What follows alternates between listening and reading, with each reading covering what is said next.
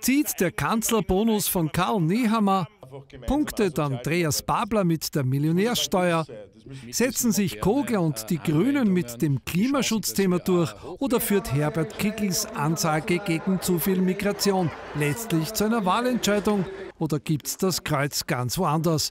Die gute Nachricht vorneweg, alle, die wir gefragt haben, wollen wählen gehen oder haben es per Briefwahl schon getan.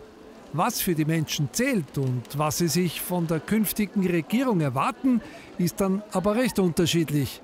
Äh, für mich ist einfach am wichtigsten, dass äh, soziale Sachen weiter wieder verstärkt unterstützt werden, weil ich einiges schon vorhin gesehen habe, jetzt, was schon mal gegeben hat an Unterstützungen. Ja. Und was meinen Sie da jetzt konkret? Ich habe Tochter mit Behinderung zum Beispiel, dass für solche Menschen auch mehr da wird.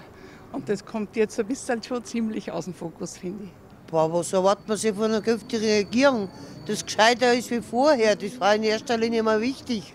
Nicht alle wollen auf Anhieb über ihre Motive, die eine oder andere Partei zu wählen, sprechen.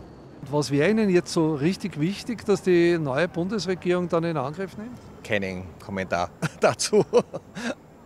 Stimmt, nein, auch kein Kommentar. Nein. Sie haben gar keine Wünsche. Jetzt nein. könnten Sie mal sagen, das müssen Sie machen. Na, schaut, es ist einfach so, wenn man wählen geht, sage ich, nimmt man halt das geringere Übel von allen Übel. Ja. Und wie es momentan ausschaut, wüsste ich nicht, sage ich, ja. Man weiß, was man nicht will. Ja. Ja, was wollen Sie nicht?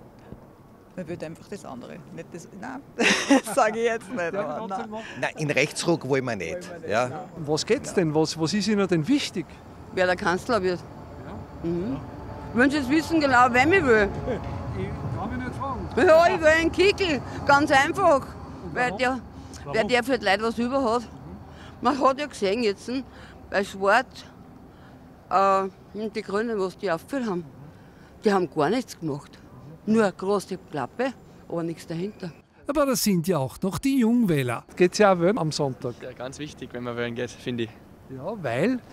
Ich weiß nicht, wir müssen ja das Recht auf Demokratie, müssen wir ja irgendwie, weiß nicht, annehmen. Und mit welcher Erwartung, also was, was, was muss die Regierung machen, die künftige?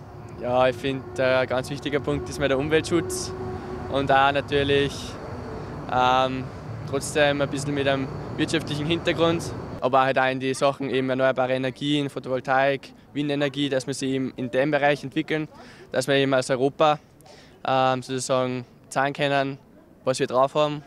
100% Wahlbeteiligung wie bei unserer Umfrage wird es am Sonntag aber wohl nicht geben.